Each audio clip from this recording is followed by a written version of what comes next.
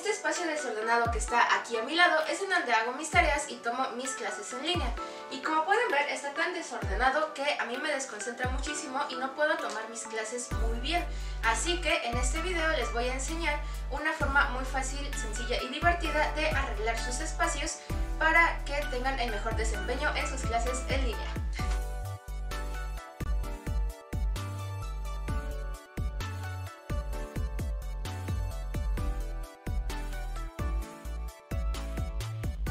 Y bueno, pues es así como normalmente me veo en las clases en línea. Como se pudieron dar cuenta y como se pueden seguir dando cuenta, mi escenario no es el más bonito que digamos, ni se ve muy bien y hay muchos detalles que distraen la atención.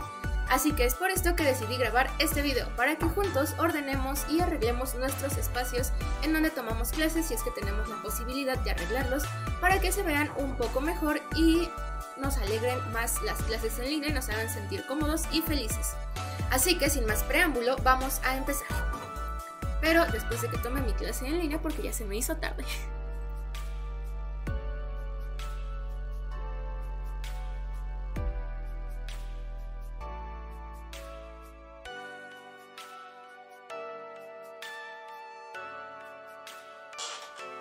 Mentira, no se me hizo tarde para las clases en línea, mamá, no se me hizo tarde, no te enojes por favor.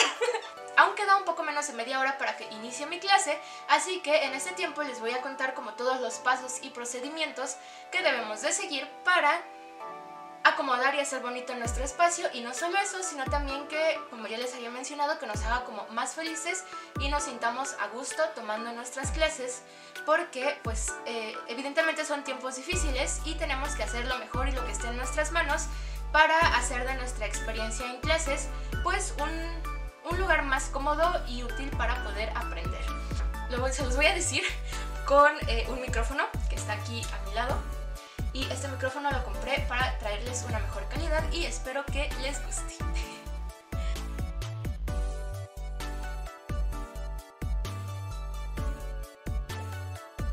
Y ahora sí, vamos a empezar con nuestros cuatro puntos súper importantes que vamos a seguir para decorar, arreglar y sentirnos muy felices en nuestro espacio para tomar clases en línea.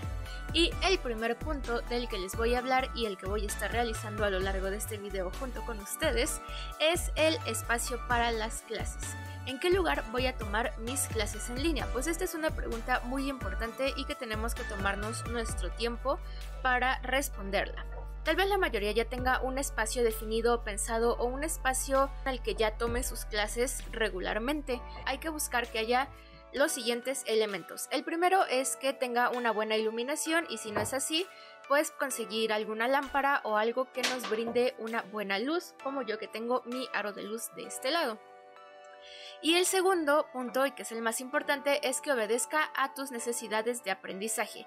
Este punto es bastante truculento y difícil.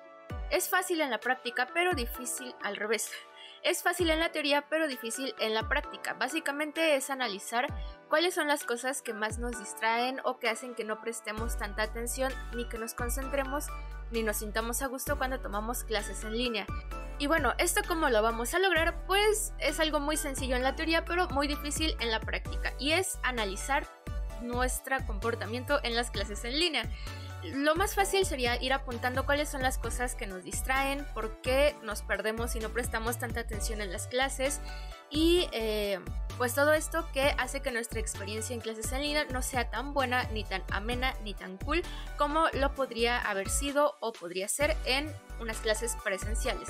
Y también sería analizar qué cosas tiene un salón de clases que no estamos teniendo en nuestro hogar.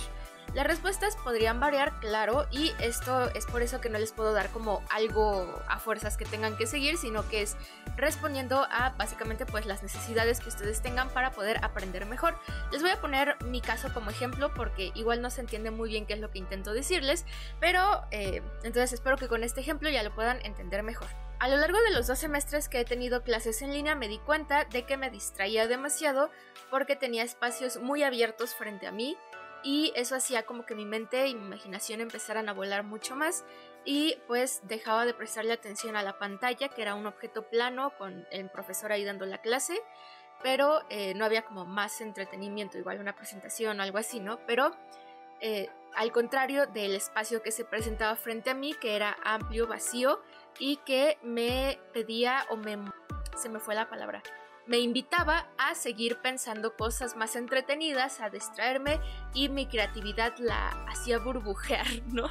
La, activaba mucho. Entonces, lo que yo me di cuenta que necesitaba era tener espacios muy cerrados. De hecho, también de allí provenía todo mi desorden, que es que yo necesitaba sentirme como en una cueva encerrada para poder pues concentrarme más y no distraerme y prestar toda la atención a lo que tenía que prestarle la atención, que era pues la pantalla frente a mí. Entonces pues le platiqué esto a mi mamá y juntas decidimos mover el escritorio eh, en mi área de estudio para eh, que estuviera viendo frente a los libros, a los libreros que son cerrados y eh, que tuviera dos paredes, además de mover pues el espacio de mi izquierda, que se cerrara un poco más y crear como una habitacioncita pequeñita con obviamente sus espacios algo abiertos, pero mucho más cerrada que lo que tenía. Y además lo más importante es que mi vista, cuando veo hacia el, frente, hacia donde está la computadora, no veo ya un espacio abierto de posibilidades, sino que veo libros, veo líneas rectas que me ayudan a centrarme. Y ya con el espacio definido, vamos al segundo punto que es la limpieza y el ordenamiento de nuestro espacio de trabajo. Ah, porque claro, eso también aplica para home office. En este punto tenemos tres subtemas muy, muy, muy importantes que tienen que tomar en cuenta. El primero es que cada cosa tiene su lugar. Esto es algo que a mí me ha costado muchísimo trabajo poner en práctica y aprenderlo, pero en verdad que me ha salvado la vida las pocas veces que lo he podido poner en práctica. Cuando acomodé y ordené todo el espacio fue el día anterior al día que estoy grabando esto. Entonces, en este periodo de un día me he dado cuenta de que es realmente muy útil saber en dónde poner cada cosa, porque muchas veces, y al menos no sé ustedes, para mí lo que me pasa mucho es que me da mucha flojera buscarle un lugar a las cosas, entonces las termino aventando en cualquier lugar y las dejo normalmente el espacio en el que paso más tiempo, que es mi escritorio, entonces se va haciendo una pila, una pila, una pila, una pila enorme de cosas que no deberían de ir allí, pero que o no tienen lugar o me da muchísima flojera llegar a su lugar y ponerlas allí porque es de muy difícil acceso. Entonces, en este punto lo que tenemos que hacer es buscarle un lugar a todas las cosas que sea de fácil acceso, que lo tengamos bien ubicado y dividir como por categorías si es necesario. En mi caso yo ya tengo un espacio específico para poner mis cuadernos de que estoy utilizando este semestre. Ya guardé todas mis libretas y cuadernos de semestres anteriores en un lugar específico que no me estorbe porque no las voy a seguir usando y si es así, tengo varias libretas porque soy una loca de las libretas, pues las tengo a la mano, es que son cosas o temas recurrentes que estaré viendo a lo largo de toda mi vida o al menos de este periodo, pues los tengo también junto a, a las libretas que estoy utilizando y que están de fácil acceso. Ok, y aunado a este punto, viene el siguiente subpunto que es eliminar los distractores. Esto son todas aquellas cosas que, como su nombre lo indica, nos distraen o impiden que pongamos toda nuestra atención en la clase o en la actividad que estemos realizando. En este caso yo tenía tantísimos distractores que ni siquiera puedo ya ni recordarlos ni enumerarlos. Aquí pueden ver algunos clips de cómo mi mamá y yo estuvimos limpiando y ordenando este grandioso y súper desordenado espacio. Y en este punto no les puedo decir exactamente qué es un distractor porque depende de cada uno. En mi caso, de repente tiendo a ser muy hiperactiva, entonces necesito tener cositas que me distraigan y que me alegren un poco, pues, el momento. Por ejemplo, tengo este peluchito que son los pulpitos reversibles hermosos, eh, que me ayuda a, de repente, pues, estar jugando con él, volteándolo cuando estoy en clases y no perder la concentración, porque también soy como multitasking y entonces tiendo a distraerme muy rápido si no tengo algo que hacer como con las manos si mi cerebro está ocupado y viceversa. Entonces también tengo, por ejemplo, esta pelotita que una doctora la llamaba que era la pelota del cerebro porque tenía una red, pero ya la rompí de tanto que la uso. Entonces, pues bueno, para mí esto me sirve mucho para no perder la concentración en las clases en línea pero igual para otras personas sí puede ser un distractor, entonces depende mucho de cada quien y volvemos otra vez al inicio. Hay que analizar cuáles son nuestras formas de aprendizaje, qué son las cosas que nos convienen y cuáles no, porque eh, pues cambian de persona a persona y esto únicamente lo vamos a aprender con el tiempo y realmente prestando atención a lo que hacemos con nuestra vida. Entonces, eh, pues sí, eso es simplemente analizar y prestar atención a cada cosa que suceda en nuestro espacio de estudio en el momento en que estemos pues estudiando. Y el tercer punto también es tener todo lo necesario a la mano. Este creo que se entiende bastante fácil, ¿no? Si, eh, no sé, estudias arquitectura y necesitas tener pues tus hojas o, colores, plumones, reglas, eh, cosas específicas, para una clase que vas a tomar, pues es tenerlo cerca eh, para que no andes corriendo a buscarlo y perdiendo más tiempo y regresando y luego, ah, ya no sé qué dijo el profe. Entonces, pues tener todo a la mano, al alcance, es bueno, ¿no? En mi caso, pues yo necesito marcatextos, plumones, colores, plumas porque soy una persona muy visual, entonces todas las cosas que mi método de aprendizaje es visual, necesito tener pues muchas cositas que me ayuden a diferenciar diferentes partes de las cosas que estoy aprendiendo, que estoy apuntando y por eso tengo pues todo esto a la mano, ¿no? Y bueno, hasta aquí termina la parte, digamos, lo aburrida, si se le podría llamar así. Y ahora sí vamos con la parte más cool, entretenida y que puede ser un poco más general, genérica, pero que aún así responde a las necesidades específicas de cada uno de ustedes. Y es la estética del espacio. Como ustedes pueden ver, el mío ya tiene una estética. En este punto, lo más conveniente es ir a alguna de esas aplicaciones que tenga varias fotografías, como por ejemplo Pinterest, y buscar, no sé, como lo quieren. Por ejemplo, pueden buscar Anime Room Decor y les van a aparecer pues varias opciones de cómo pueden decorar sus eh, espacios, ¿no? Por ejemplo, este está padre. O, o por ejemplo, si quieren que se vea muy neón o muy, no sé, de alguna otra forma, pues lo buscan ven varias ideas y dicen, ok, yo quiero recuperar este y este y este elementos, los buscan, los consiguen, los y los tienen allí listos para cuando requieran llegar a este punto que pues en este momento es ahora mismo.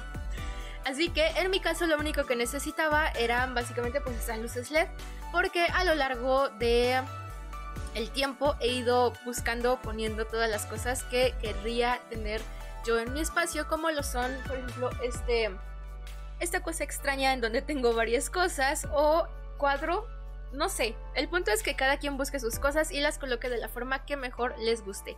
En este momento les estoy mostrando cómo quedó mi espacio decorado por si quieren alguna idea de inspiración. Es una mezcla entre pues el aesthetic como del 2015 por ahí más o menos, ¿no? Con la aesthetic de los, o bueno, la estética del 2015, la estética de los TikTokers de ahora con muchas luces LED o también la estética de gamer, ¿no? También las luces LED y una estética medio acá asiática, medio visco. Es una mezcla de muchas cosas porque yo soy una mezcla de muchas cosas, entonces quería que eso se reflejara en mi espacio. El espacio y la estética que tengamos en él nos tiene que brindar felicidad, nos tiene que ayudar a concentrarnos más y nos tiene que también hacer sentir tranquilos y no estresados. Que claro, recuerden eh, que si necesitan alejarse de sus clases, siempre es muchísimo más importante la salud mental que una clase. Eso es algo que me decía un profesor cuando inició toda esta pandemia y que realmente creo que es muy importante mencionárselos. Si bien estamos realizando pues todos estos pasos para hacer una mejor experiencia de las clases en línea, siempre hay que tener en cuenta que lo más importante es nuestra salud mental y estar bien con nosotros mismos y después tal vez un poco con las personas que nos rodean, ¿no? Pero nosotros somos la cosa más importante del universo y tenemos que tratarnos como tal. Y si estamos eh, demasiado estresados, demasiado preocupados, estamos pasando por situaciones demasiado complicadas a raíz de pues esta pandemia que estamos viviendo o incluso cosas que ya traíamos desde antes y que se han ido incrementando por la, por la pandemia, por estar en casa, pues siempre es bueno tomarse un descanso y concentrarnos en nosotros mismos. Eh, tal vez los profesores no lo entiendan, pero recuerden que la calificación es solo una calificación y que hay más en la vida que la escuela. Pero no por eso digo que se salgan de estudiar, no, estudiar es muy útil en la vida. Y bueno, hasta aquí el video de hoy. Espero que les haya resultado entretenido, que piensen utilizar estos consejos que yo les doy en algún momento para decorar alguno de sus espacios, que eh, en verdad que las clases en línea sean algo realmente ameno, que se la pasen muy bien y que sean felices aprendiendo y tomando clases a distancia. Esperamos que ya pronto esta situación acabe, pero mientras tanto, a mí me encantaría que me mandaran a mi Instagram que está apareciendo aquí las fotos de cómo está quedando su espacio, cómo lo decoraron y si realmente este video les ayudó, díganmelo en los comentarios. También no olviden que pueden comentarme cosas que quieran ver, prometo ya estar más activa, es mi propósito de semestre nuevo, el estar más activa aquí en YouTube y subirles videos de una bonita calidad y de cosas que realmente sean útiles en su vida y que los ayuden a entretenerse y distraerse, distraerse de todo lo que está sucediendo. Entonces, si quieren apoyarme, suscríbanse a este canal. Si les gusta lo que estoy haciendo y si no les gusta, por favor, te suscríbanse porque eh, pues se siente muy feo tener muchos suscriptores y que solo 5 personas vean tus videos. Así que en verdad, si no les gusta mi contenido, de suscríbanse y si les encantan o si solo están pasando a ver, pues sin compromiso ustedes watchen todo lo que quieran y aquí andamos, el botón de suscribirse siempre va a estar allí presente en muchísimos lugares para que si les gusta y quieren seguirme y conocer un poco más de las cosas que hago en la vida, pues se suscriban. Si este video les gustó, les resultó útil o planean hacerlo, denle manita arriba y creo que ya. Yo soy Hanna y adiós.